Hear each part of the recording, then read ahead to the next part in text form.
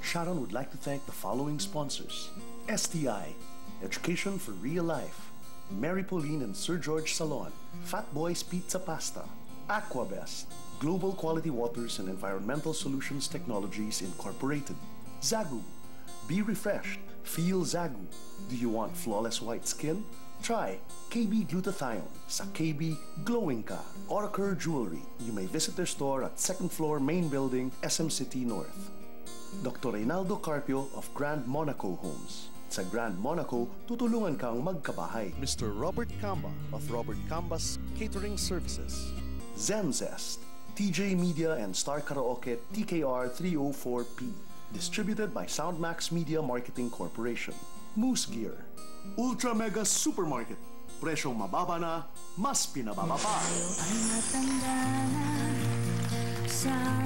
Kasama pa rin po natin mga kapatid ang minsan ay naging laman ng mga balita dahil sa kanyang kontrobersyal na love life. Mga kapatid, eto muli si Ding Dong Avansado. Bago ko sagutin siya yung controversial Okay. na question, eh, gusto ko munang ibigay sa iyo Ayan na yung siya! This is an album. Eto. Labor of Love po yan. And I'm just so uh, proud and happy na kasama ko po ang megastar. Nag-iisang megastar dito po sa album na to. 25 years in the making. Yes. Itong album na ito. Download po. The album is called Download under Viva. 25 years, ba't ganyan pa rin itsura mo, no? Hindi pa nagbabago. Ayan, Di no? naman, Parang naman. siya pa rin yung gumes sa akin ng tatlong 25. Di Ayan, naman. no? Lang Anda, po. so you have you Yeah. have how many cuts in There's this 15 album? uh, tracks in this album. Of course, marami po akong na nakaka-collaborate dito sa album. Lahat po ng mga awitin dito are my comp- compositions. Ako po sumulat lahat. Lahat. All, all the songs there. Nandito yung favorite ko, yung Wish I Could. Wish I Could is Nandyan. there. Pero ito palang mga to, lahat ikaw gumawa, pati yung ano, much longer, lahat Mm-hmm. Yes, yun. yes. Lahat. Lahat po yan nandyan. So, Wow. pati yung maganda dyan, yung storya behind the songs na sinulat ko, malalaman nila if they get a copy of the album. Ah, nandito? Oo, pati yung storya kung bakit nasulat yung Oh, maghihintay sa'yo. sige. Babasahin ko mamaya. Babasahin mo. Maraming salamat. Maganda, maganda yung pagkasabi ko dyan. Oo naman, ikaw pa. anyway, Ding Dong, 16 years old ka daw nung maghiwalay, well, nung mahiwalay ka sa daddy mo naman. I didn't know that. ah. You were 16. Um, yeah, actually, my mom and my dad, uh, they officially separated when I was about 13 or 14. So, um, that was the time na, it was really hard on, on all, all of us. Pero yung time na, my mom and my dad, uh, actually, na-annul na yung marriage nila. But at that time, syempre, it's a very uh, trying moment for us. No? And for me, as akong panganay, eh. So, I, I, hindi ko makalimutan yung moment na yun because when my dad was leaving, I remember him telling me na, anak, ikaw ng ta- man of the house, sabi niya. And you were 13? Yeah, and I was 13. And I remember that time kasi, ako yung kumukuha ng maleta niya eh. Tapos, nung sabi ng mami, officially, maghiwalay na nga sila. I, I remember that time na I got the maleta and I was crying. And I knew parang, you know, they, they were trying to work it out pero talagang, siguro talagang wala na talagang way. Then, yun, those words sank into me about, you know, being a man, uh, had to, from a boy, no, have to be a man and be responsible. Life-changing for me. After a few years, siguro mga two or three years, nag-reconnect kami. It was that time in, papasok na ako sa showbiz noon. And we met each other after not seeing each other for a long time. We met each other sa Guam. Actually, that was the time that I finished writing Maghihintay Sa'yo. And then you saw him? And I saw him.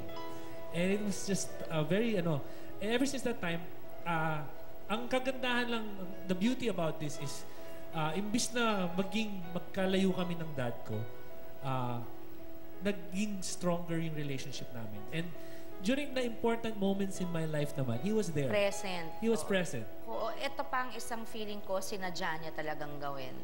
Pakinggan natin to. message ko sa anak ko is, uh, first of all, um, um, I'd like to tell him that I'm very proud of him, of his accomplishments, and that I hope he never changes because he too is a father, and uh, I know he's been a very good father to his siblings. So I hope he'll stay that way. And uh, more power to him and uh, long life and good health. I'll pray for that. Thank you, Dad. wow, uh, I never expected. I was just in ano, eh, in Sikihor uh, a few days ago. I just um, I visited him. Sikihor is what? The province yeah, of your that's my, family? my, Oh, my dad. Uh, that's our hometown. Eh, And That's a was- beautiful island. Beautiful, beautiful. And that my dad was the former mayor of Sikihor. It's Beautiful beaches, I Oo. But you know, I visited him. I never knew he was gonna. Um, nandun pala yung picture na. He was there. Imagine. I have to tell you, your dad's more good looking than you. Ah. Thank you. I won't argue. I won't Hindi, argue. makikita mo talaga saan galing ang kagwapuan ni Ding Dong. Ayan, but um, what do you wanna say to dad? It's Happy Father's Day. Um, Dad, you know naman uh, uh, how much I love you so much and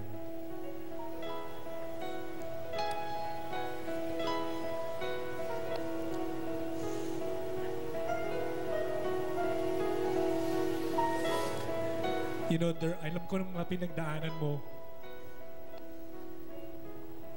And alam ko naman that ang hangad mo lang naman is what's what will be best for our family. Uh, you're not the perfect dad, I know that. But I know that you know you you are there for us and that you love us with all your heart. And I'm thankful for that. And I want to tell you also that that you were that for me. So, um, papasalamat ako um, all these years. Um, you were there for me. So I want to say Happy Father's Day. And thank you for being the dad that you are to me and to our family. I love you.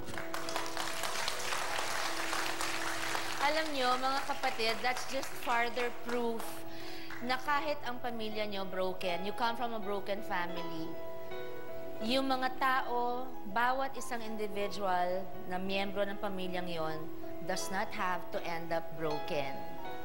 Ang daming maaayos sa relationships at sa sarili kahit ang pamilya mo ay nasira. It doesn't end there, right? So remember, people are designed to make mistakes. We're human beings. But we try. We try our best. So, happy Father's Day to you, Ding Dong. I hope that was a good surprise Thank you. also. Yeah, thank you so much. I'd like to say, Sharon, um, congratulations also for, for this show. Thank you Yeah, very this is much. a wonderful Thank show. You. Thank you. Yeah, Thank and you. maraming salamat po sa inyong lahat. And don't forget po ang download na 25th anniversary album ni Ding Dong. I know you've been missing his music so much.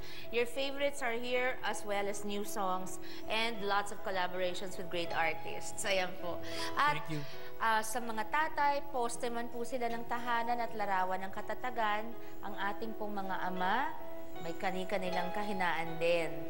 Swerte na tayo kung makatagpo tayo ng kaibigan sa katauhan ng ating ama, gaya ni Agustus kay Vicente, at ang pagiging mabuting ama, pinatunayan ni Danshel, wala sa edad at estado sa buhay. At hindi rin po nasusukat sa kung gaano ka kasikat, gaya naman ni Ding Dong. Ang pagiging ama, nasa puso, nasa gawa, nasa pagkatao, Walang perpektong ehemplo, not at all. Pero ang pagpapalaki at turo ng ama sa kanyang anak ang huhubog sa pagkatao nito. At, Daddy, saan ka man naroroon? Ano mang tupe ang suot mo ngayon, straight or may curl. I miss you so very, very much. And all of us want to say Happy Father's Day to you. Happy Father's Day to my father-in-law, Daddy Donnie Pangilinan, all my brothers-in-law, and of course, especially to my husband, Kiko. Happy Father's Day, sweetheart. You're the best dad in the world. I don't know if I still want to be your wife or one of your kids, but you're doing such a great job. I love you. At mga kapatid, kakantahan po tayong muli ni Ding Dong ng kanyang carrier single. Kasama po sa album ang certified hit na sa radio at music channel charts ang Download Ding Dong Avanzado! Thank you. Para po sa mga daddies natin, Happy Father's Day sa inyo at para po sa inyong lahat dito. Di ko kailangan ng yaman. Ni Willie. O di kaya'y kasing galing sa boxing. Ni Manny. Di ko kailangan maging sing pogi. Ni Ogie O di kaya ang mga beauty tips ni Vicky